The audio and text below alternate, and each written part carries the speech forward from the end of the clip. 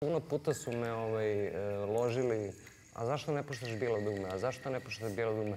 Pa zapravo bijelo dugme, ono, ja ne volim, ali volim taj prvi, e, prvu fazu bijelo dugmeta. Ja sam bio klinac, zapravo to je moj prvi koncert na koji sam otišao sa tatom u Hali Pionir posle drugog albuma. I bile su stolice u parteru, a, stajali su samo oni koji su bili na tribinama. I a, Bilo dugme se zvalo Jutro i izdali su singl Kad bi bio bijelo dugme. Promenili pevača, došao je Bebek i a, taj singl Bijelo dugme je ovaj, Bregovića naterao da promeni ime grupe iz Jutro u Bijelo dugme i zapravo prvi oficijalni singl grupe Bijelo dugme je Top. Kupit ću si Top. Topom ću te gađat moja ma.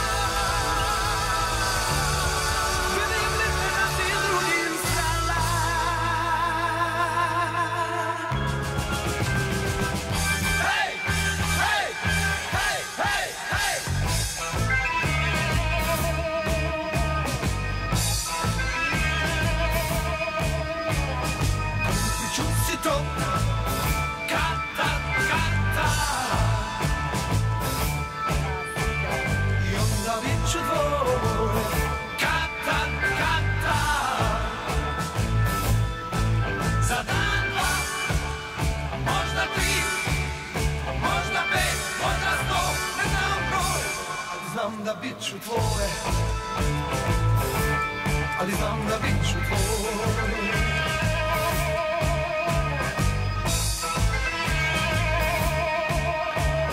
Kupit ću si tank pesma. Ali u to vreme niko to nije kapirao. Da se vozim njih Da se vozimo s njim. Ali dobro, možda i kao glupost. sam Pa i... totalna glupost od teksta. Kupit ću si top da bi te smuo. Kupit ću si tank da bi te smuo. Idiotizam totalni, ali to je 74. godina. Rock'n'roll se tek razvijao domaći.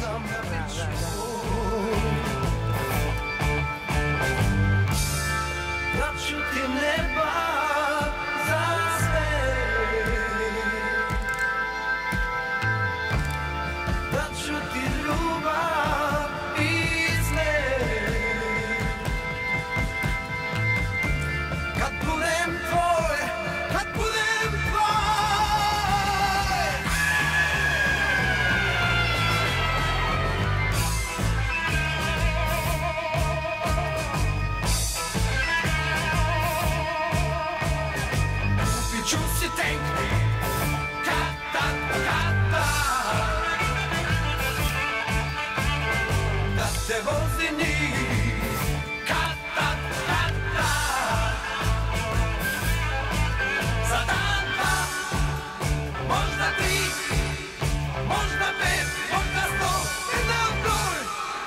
da bit ću tvoj Ali znam da bit ću tvoj